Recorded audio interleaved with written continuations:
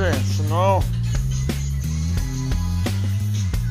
I'm gonna got one spot left there to weld yet. And then uh, got the other frame rail done already.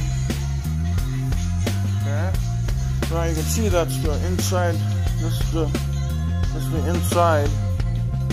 So you can see now if I look down here, have holes on the inside.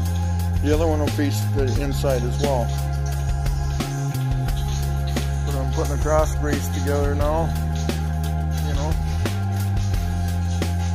You can see how I cut this, sort of. You know. There you go, maybe. Yeah.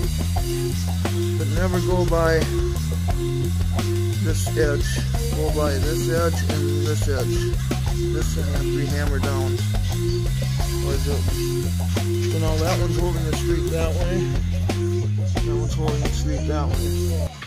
Now just quick tack here and here and on the opposite side. So that way it holds. Then I'll tack the other one to this side. So, until then, bye.